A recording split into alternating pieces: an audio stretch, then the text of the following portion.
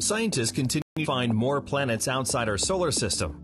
According to a news release by University of California, Santa Cruz, a new study by an international team of astronomers revealed that four Earth-sized planets orbit the nearest sun-like star, Tau Ceti, which is about 12 light-years away and visible to the naked eye.